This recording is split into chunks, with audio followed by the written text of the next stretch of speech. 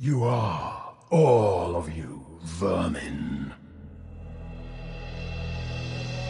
Cowering in the dirt, thinking, what? That you might escape the coming fire?